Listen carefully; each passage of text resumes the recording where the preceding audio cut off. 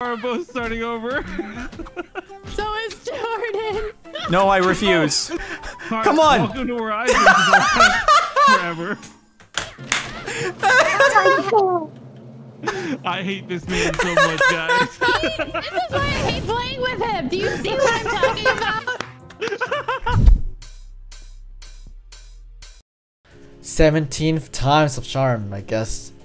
Aqua Axolotls consists of the quality content duo KaraCorvus and CaptainSparklez, the MCC enthusiast and nerd Antfrost, and the person who looks heckin' good with the strawberry dress, Eret.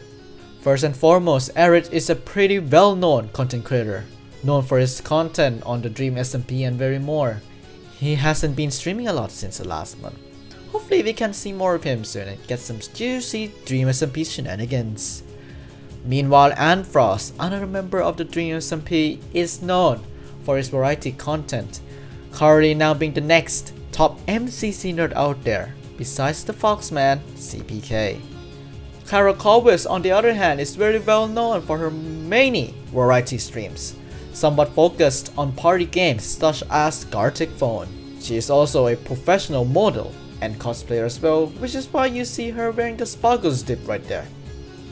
Speaking of Sparkles, we have. Wait, what's his name? Jardun Shiserson? Right. Jardon is very known for his variety Minecraft content as well as other games, including his involvement in Fallen Kingdom and the one that he recently just died after a very long time, Bot Hunters.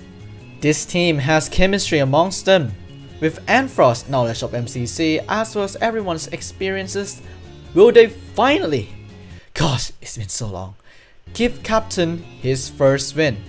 Or will the streak continue? This is Aqua Axolotls.